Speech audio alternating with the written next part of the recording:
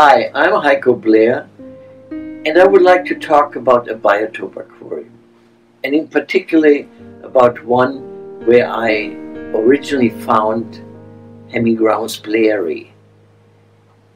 I would like to talk about the habitat and how to decorate it as close as possible to the place where this fish originally lives.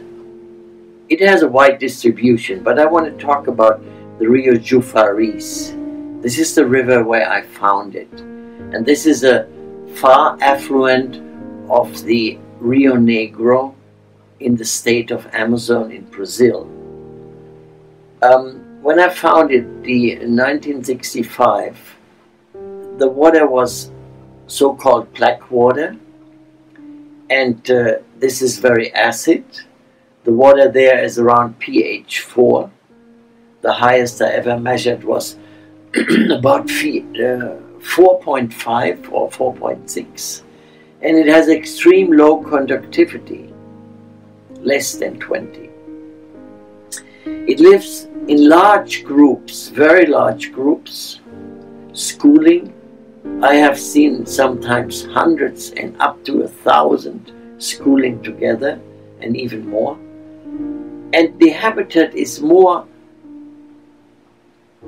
not only black water, but it's full with driftwood, um, fallen in trees, leaves, and you have millions of leaves on the underground over almost exclusively fine white sand. The plants growing there are mostly nymphaea species. Um, also, that's water lilies, as called in America, and also some Heterocotyla species. There are uh, quite a few floating plants like Azolla, Riccia, uh, Lemna. You can find um, very few really submerged plants like Tonina and very rarely Echinodorus species. Further north I found the Echinodorus species um, in an affluent of the Jufaris, which has later been named Echinodorus bleheri in my honor, but hardly any other aquarium plants. I have seen once or twice in a habitat where Hemigrammus bleheri lives as well, uh, Cabomba species, especially Cabomba uh, the red cabomba. Um, that's about it, what is plants concerned. They need shady places. It cannot be bright sunlight. That means you cannot have bright light on top all the time. They must have places where they can swim to, which is shady, as in nature. Especially if you have uh, species, naturally, they will have floating leaves and they love to go below those. Um, if you buy them or get them, make sure that you don't put them right away in very hot water or very acid, extremely acid, because normally the exporters who ship them out, mainly out of Manaus in South America, they try to quarantine them already in water values around 6. But it's not advisable to calve them or keep them in waters above 7. That's really not good. And in very high conductivity because the extreme high conductivity can harm them.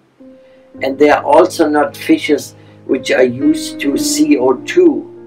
So have them not in those typical aquascape aquariums which are uh, naturally full of CO2, the fish cannot support this, it cannot take it easily. It should be biotope correct.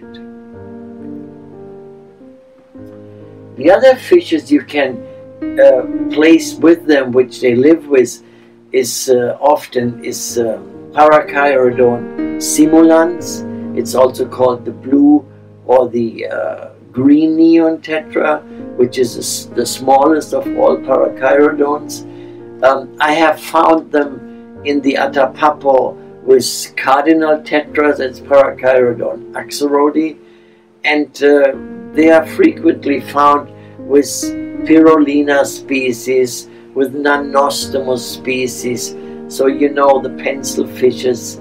They are found with Corydoras um, and also Otocinclus live plenty in those habitats. Some smaller Ancistrus, and you can find uh, many other fishes, especially uh, Apistogramma, Apistogramma menasii. You can find um, often Dicrossus, Dicrossus filamentosus, and um, some other smaller cichlids.